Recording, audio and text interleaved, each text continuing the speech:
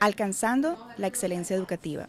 ¿Cuál es el plan que tiene Guilford County Schools para continuar con este empeño? Únete al superintendente Mo Green para el evento anual del estado de nuestras escuelas y escúchalo hablar de la actualización del plan estratégico del distrito para los próximos cuatro años. Es el jueves 31 de enero en el Teatro Carolina de Greensboro, ubicado en el 310 South Green Street. La recepción comienza a las 5.30, el programa comienza a las 6 pm. Es un evento gratuito, abierto al público con aparcamiento gratuito después de las 5 pm en el parqueadero de la ciudad, en la esquina de las calles Washington y Green. Nos vemos en el evento del estado de nuestras escuelas el 31 de enero en el Teatro Carolina.